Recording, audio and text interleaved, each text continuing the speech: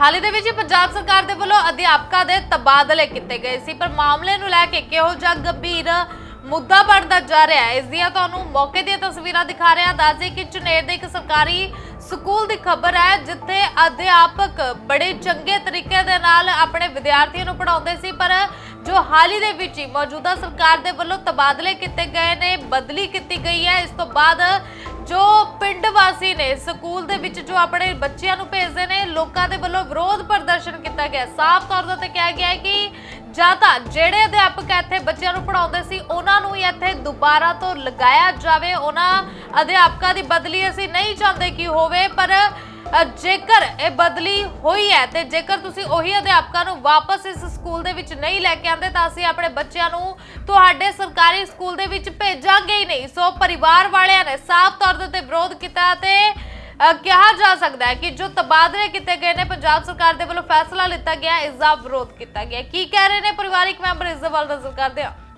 ਭਾਈ ਜੀ ਅੱਜ ਇਕੱਠ ਕੀਤਾ ਪਿੰਡ ਵਾਲਿਆਂ ਨੇ ਇੱਕ ਇਕੱਠੇ ਹੋ ਕੇ। ਕੀ ਕਾਰਨ ਕੀ ਹੈ ਸਕੂਲ ਦੇ ਵਿੱਚ? ਕਾਰਨ ਜੀ ਸਾਡੇ ਟੀਚਰਾਂ ਦਾ ਇੱਥੋਂ ਬਦਲੀ ਕੀਤੀ ਗਈ ਹੈ ਤੇ ਇਸ ਕਰਕੇ ਸਾਡਾ ਸਾਰਾ ਇਕੱਠ ਹੋਇਆ ਪਿਆ। ਇਹ ਤਾਂ ਧਰਨਾ ਦਿੱਤਾ ਗਿਆ ਦਰਵਾਜ਼ਾ ਬੰਦ ਸੀਗਾ ਹੁਣੇ ਖੁੱਲਿਆ ਹਲੇ। ਕਿਹੜੇ ਕਿਹੜੇ ਟੀਚਰਸ ਦੀ ਬਦਲੀ ਕੀਤੀ ਗਈ ਜੀ? ਇਹ ਜੀ ਸਾਡੇ ਇੱਕ ਸਤਪਾਲ ਸਰ ਪ੍ਰਿੰਸੀਪਲ ਇੱਕ ਗੁਰਮਿੰਦਰ ਮੈਡਮ ਤੇ ਇੱਕ ਮੰਜੂ ਮੈਡਮ। ਇਹ ਤਿੰਨਾਂ ਦੀ ਬਦਲੀ ਕੀਤੀ ਗਈ ਹੈ।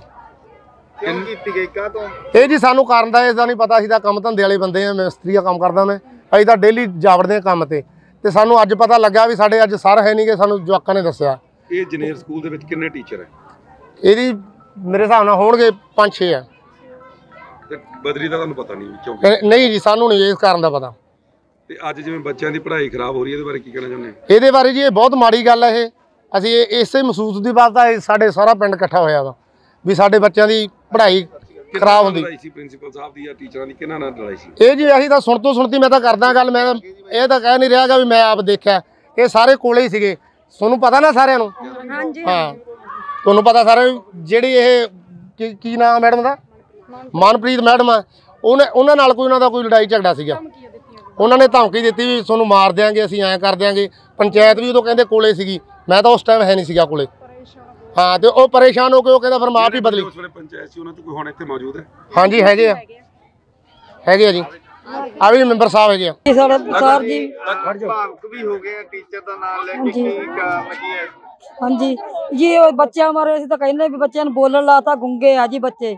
ਦਿਮਾਗਾ ਇਹ ਨੁਕਸਾ ਦੋਨਾਂ ਜਵਾਕਾਂ ਦੇ। ਪੰਜੀਰੀ ਵੀ ਦਿੰਦਾ ਤੇ ਦੂਜਾ ਖਰੋ- ਖਰੋਟ ਵੀ ਦਿੰਦੇ ਆ ਬਦਾਮ ਵੀ ਦਿੰਦੇ ਆ। ਸਾਰਾ ਕੁਝ ਦਿੰਦੇ ਆ ਜੀ। ਪੂਰਾ ਧਿਆਨ ਆ ਮੇਰੇ ਬੱਚਿਆਂ ਦੋਨਾਂ 'ਚ। ਮਾਂ ਵੀ ਹੈ ਨਹੀਂ ਬੱਚਿਆਂ ਦੀ। ਬਹੁਤ ਬੁਰੀ ਹਾਲਤ ਹੈ ਜੀ ਬੱਚਿਆਂ ਦਾ ਖਿਆਲ ਹੋਣਾ ਚਾਹੀਦਾ। ਕੱਲ ਵੀ ਲੜਦਾ ਸੀ ਬਹੁਤ ਜ਼ਿਆਦੇ। ਹੁਣ ਵੀ ਲੁੱਟੀ ਜਾਂਦਾ ਸੀ ਲੜਦਾ ਘਰੋਂ ਲਿਆਈ ਮੈਨੂੰ ਸਾਰ ਵੀ ਇੱਥੇ ਆਉਣਾ ਚਾਹੀਦਾ ਜੀ ਘਰੇ ਇੱਥੇ ਸਕੂਲ 'ਚ। ਮੈਡਮ ਵੀ ਆਉਣੀ ਚਾਹੀਦੀ ਸਾਨੂੰ। ਬੋਲਣ ਲਾਤਾ ਜੀ ਉਹਨਾਂ ਨੇ। ਪਰ ਉਹਨਾਂ ਨਹੀਂ ਉਹਨਾਂ ਦਿਮਾਗੀ ਫੇਰ ਵੀ ਜੇ ਨੁਕਸ ਹੈ ਇਹਨਾਂ ਦੇ ਵਿਚਾਰੇ ਦੇ। ਪਰ ਮਾਵਾਂ ਤੋਂ ਬਗੈਰ ਕਾਹਦਾ ਹੁੰਦਾ ਰੋਲਣਾ ਉਹਨਾਂ ਨੇ ਉਹਨਾਂ ਨੇ ਯਾਦ ਨਹੀਂ ਹੋਣ ਦਿੱਤੀ ਗੱਲ ਉਹਨਾਂ ਨੇ। ਕੋਈ ਸਹੂਲਤਾਂ ਸਾਰੀ ਸੀ ਜੀ ਉਹਨਾਂ ਨੂੰ ਸਾ- ਸਾਰਾ ਕੁਝ ਮਿਲਦਾ ਜੀ ਇਹਨਾਂ ਨੂੰ। ਟੀਚਰ ਨੂੰ ਕਿ- ਕਿਉਂ ਗਿਆ ਫਿਰ? ਟੀਚਰ ਕਾਰਨ ਕੀ ਹੈ ਜੀ? ਕੋਈ ਲੜਾਈ ਝਗੜਾ ਕਰਦੇ ਟੀਚਰ ਲੜਾਈ ਝਗੜਾ ਜੀ ਇੱਥੇ ਮੈਡਮ ਹੈਗੀ ਉਹੀ ਕਰਦੇ ਸੀਗੇ ਜੀ। ਉਹ ਕਹਿੰਦੇ ਤੁਹਾਨੂੰ ਆ ਮਾਰ ਦਾਂਗੇ ਤੁਹਾਨੂੰ ਐ ਕਰ ਦਾਂਗੇ ਧਮਕੀਆਂ ਦਿੰਦੇ ਸੀਗੇ। ਹਾਂ। ਖੱਟ ਪੈ ਗਈ? ਖੱਤ ਪੈ ਗਈ। ਤੇ ਉਹ ਬੰਦਾ ਚੰਗਾ ਸੀਗਾ ਤੇ ਚੰਗੇ ਨੂੰ ਕੱਢਤਾ। ਪੜ੍ਹਾਈ ਲਿਖਾਈ ਚ ਵਧੀਆ ਸੀਗਾ ਜੀ। ਸਰ ਅੱਜ ਬੱਚਿਆਂ ਦੇ ਮਾਪਿਆਂ ਵੱਲੋਂ ਰੋਸ ਪ੍ਰਦਰਸ਼ਨ ਵੀ ਕੀਤਾ ਗਿਆ। ਸਕੂਲ ਦੇ ਗੇਟ ਨੂੰ ਵੀ ਬੰਦ ਕਰ ਦਿੱਤਾ ਗਿਆ ਸੀ। ਕਿਹਾ ਗਿਆ ਕਿ ਬੱਚੇ ਨਹੀਂ ਭੇਜਣੇ ਜਿਨ੍ਹਾਂ ਚਿਰ ਸਾਡੇ ਟੀਚਰ ਵਾਪਸ ਨਹੀਂ ਤੇ ਕੀ ਮਾਮਲਾ ਸਾਰਾ ਜੀ? ਜੀ ਉਹ ਅਹ, ਇਸ ਤਰ੍ਹਾਂ ਹੈਗਾ ਵੀ ਗਵਰਨਮੈਂਟ ਦੇ ਜਿਹੜੀਆਂ ਆਨਲਾਈਨ ਪਾਲਿਸੀ ਦੇ ਅਕੋਰਡਿੰਗਲੀ ਟਰਾਂਸਫਰ ਹੁੰਦੀਆਂ। ਟੀਚਰਸ ਨੇ ਆਪਣੀ ਆਈਡੀ ਦੇ ਵਿੱਚ ਵਿਲਿੰਗਲੀ ਟਰਾਂਸਫਰ ਅਪਲਾਈ ਕੀਤਾ ਸੀ। ਉਹ ਤਿੰਨ ਟੀਚਰ ਦੀ ਟਰਾਂਸਫਰ ਹੋ ਗਈ। ਉਹ ਟਰਾਂਸਫਰ ਇੱਕ ਦੀ ਟਰਾਂਸਫਰ ਹੋ ਕੇ ਇੱਥੇ ਵੀ ਇੱਕ ਨਵਾਂ ਟੀਚਰ ਆਇਆ। ਤਿੰਨ ਟੀਚਰ ਇੱਥੋਂ ਟਰਾਂਸਫਰ ਹੋਏ ਉਹਦੇ ਰਿਗਾਰਡਿੰਗ ਸੀਬੀਓ ਜਿਹੜੇ ਸਾਡੇ ਟੀਚਰ ਆ ਉਹ ਵਾਪਸ ਲਿਆਂਦੇ ਜਾਣ ਕਿਉਂਕਿ ਉਹ ਬਹੁਤ ਮਿਹਨਤੀ ਅਧਿਆਪਕ ਨੇ। ਇਹਦੇ ਰਿਗਾਰਡਿੰਗ ਇਹਨਾਂ ਨੇ ਲਾਇਆ ਸੀ ਕਿਸ ਤਰ੍ਹਾਂ ਦੀ ਕਾਰਵਾਈ ਪਾਈ ਹਾਂ? ਅੱਜ ਇਹਨਾਂ ਤੋਂ ਮੈਮੋਰੰਡਮ ਲੈ ਲਿਆ ਹੋਇਆ। ਉਹਦੇ ਅਨੁਸਾਰ ਜਿਹੜੀ ਰਿਕੁਐਸਟ ਲੈਟਰ ਉਹਨਾਂ ਦੀ ਉਹ ਉੱਪਰ ਡਿਪਾਰਟਮੈਂਟ ਨੂੰ ਭੇਜ ਦਿੱਤੀ ਜਾਊਗੀ। ਜਿਸ ਤਰ੍ਹਾਂ ਵੀ ਇਨਸਟਰਕਸ਼ਨ ਹੋਣਗੀਆਂ ਉਹਨੂੰ ਫੋਲੋ ਕਰਦੇ ਵਾਸੀਆਂ ਨੇ ਦੋ ਕੁ ਟੀਚਰਾਂ ਤੇ ਵੀ ਦੋਸ਼ ਲਾਏ ਨੇ ਵੀ ਜਿਹੜੇ ਲੜਾਈ ਝਗੜਾ ਕਰਦੇ ਸੀਗੇ ਉਹਨਾਂ ਦੇ ਕਾਰਨ ਜਿਹੜੇ ਟੀਚਰ ਗਏ। ਉਹ ਇਨਕੁਆਰੀ ਦਾ ਮੈਟਰ ਹੈਗਾ ਇਨਵੈਸਟੀਗੇਸ਼ਨ ਕਰਾ ਲਈ ਜਾਏ ਜੀ। ਜੇ ਕੋਈ ਦੋਸ਼ੀ ਪਾਇਆ ਗਿਆ ਤੇ ਉਹਦੇ ਅਨੁਸਾਰ ਬਣਦੀ ਕਾਰਵਾਈ ਉਹਦੇ ਵਿਰੁੱਧ ਕੀਤੀ ਕੀ ਨਾਮ ਪੈਣਾ ਤੁਹਾਡਾ? ਕੁਲਵਿੰਦਰ ਕੌਰ ਜੀ। ਅੱਜ ਇਕੱਠੇ ਹੋਏ ਆ ਕੀ ਕਾਰਨ ਕੀ ਹੈ ਜੀ?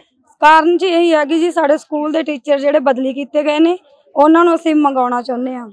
ਕਿਉਂ ਬਦਲੀ ਕੀਤੀ ਗਈ ਹੈ ਜੀ? ਬਦਲੀ ਜੀ ਸਕੂਲ ਦੇ ਵਿੱਚ ਕੋਈ ਲੜਾਈ ਹੋਈ ਸੀਗੀ ਜੀ ਸਾਸੀ ਤਾਂ ਕੰਮ ਤੇ ਜਾਂਦੇ ਸੀ ਸਾਡੇ ਬੱਚੇ ਦੱਸਦੇ ਪਏ ਸੀ ਤੇ ਮੁੜ ਕਿਹਦੀ ਲੜਾਈ ਹੋਈ ਸੀ ਜੀ? ਮੈਡਮ ਦੀ ਹੋਈ ਸੀ ਜੀ। ਕਿਹੜੀ ਮੈਡਮ? ਉਹ ਇਲਜ਼ਾਮ ਲਾਉਂਦੀ ਸੀਗੀ ਪ੍ਰਿੰਸੀਪਲ ਤੇ ਜੀ ਤੁਸੀਂ ਮੇਰੇ ਨਾਲ ਵੀ ਕੀ ਨਾਮ ਹੈ ਜੀ ਮੈਡਮ ਦਾ? ਮੈਡਮ ਦਾ ਨਾਂ ਗੁਰਵਿੰਦ ਮਨਪ੍ਰੀਤ ਮੈਡਮ ਜੀ। ਤੇ ਕੀ ਕਹਿਣਾ ਚਾਹੁੰਦੇ ਤੁਸੀਂ ਇਸ ਬਾਰੇ? ਅਸੀਂ ਜੀ ਇਹੀ ਕਹਿਣਾ ਚਾਹੁੰਦੇ ਹਾਂ ਸਾਡੇ ਪ੍ਰਿੰਸੀਪਲ ਤੋਂ ਇਦਾਂ ਦੇ ਹੈ ਨਹੀਂ ਸੀ ਜੀ। ਤੇ ਉਹਨਾਂ ਤੇ ਇਲਜ਼ਾਮ ਲਾਇਆ ਜਾਂਦਾ ਵਾ ਜੀ ਉਹਨਾਂ ਨੇ ਇਲਜ਼ਾਮ ਦੇ ਮਾਰੇ ਉਹਨਾਂ ਨੂੰ ਧਮਕੀਆਂ ਦਿੱਤੀਆਂ ਕਰਕੇ ਜੀ ਉਹ ਬਦਲੀ ਕਰਵਾਈ ਉਹਨਾਂ ਨੇ ਜੀ ਅਸੀਂ ਉਹਨਾਂ ਨੂੰ ਮੰਗਾਉਣਾ ਚਾਹੁੰਦੇ ਹਾਂ। ਇਹ ਕਿੰਨੇ ਬੱਚੇ ਪੜ੍ਹਦੇ ਸਕੂਲ ਦੇ ਵਿੱਚ ਪਤਾ ਕੁਛ? 350 ਬੱਚਾ ਪੜਦਾ ਜੀ। ਤੇ ਸਾਰੇ ਬੱਚੇ ਅੱਜ ਜਿਵੇਂ ਸਕੂਲ ਦੇ ਵਿੱਚ ਪੜ੍ਹਾਈ ਨਹੀਂ ਹੋ ਰਹੀ ਬੱਚਿਆਂ ਦਾ ਜਿਹੜਾ ਸਮਾਂ ਖਰਾਬ ਹੋ ਰਿਹਾ। ਹਾਂਜੀ।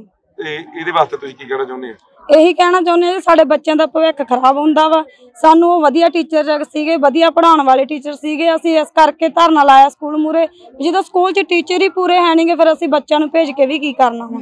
ਸਾਨੂੰ ਉਹੀ ਟੀਚਰ ਚਾਹੀਦੇ ਨੇ ਜਿਹੜੇ ਪੜ੍ਹਾਉਂਦੇ ਸੀਗੇ ਵਧੀਆ। ਟੀਚਰ ਨਹੀਂ ਆਉਂਦੇ ਫਿਰ? ਫਿਰ ਅਸੀਂ ਸਕੂਲ ਨਹੀਂ ਖੋਲਾਂਗੇ ਜੀ ਫਿਰ ਅਸੀਂ ਸਕੂਲ ਮੂਰੇ ਧਰਨਾ ਹੀ ਲਾਈ ਰੱਖਾਂਗੇ। ਹੁਣ ਸਾਨੂੰ 2 ਦਿਨ ਦਿੱਤੇ ਆ ਜੀ 2 ਦਿਨਾਂ ਵਿੱਚ ਜੀ ਸਾਡੀ ਮੰਗ ਪੂਰੀ ਹੋ ਗਈ ਤਾਂ ਠੀਕ ਆ ਜੀ ਨਹੀਂ ਫਿਰ ਅਸੀਂ ਫੇਰ ਕਿੰਨੇ ਦੋ ਧਰਨਾ ਦਿਨ ਲਾ ਦਿੱਤੇ ਆ ਜੀ ਤੁਹਾਨੂੰ? ਸਾਨੂੰ ਜੀ ਸਕੂਲ ਦੇ ਡੀਓ ਨੇ 2 ਦੋ ਦਿਨ ਦਿੱਤੇ ਆ ਜੀ।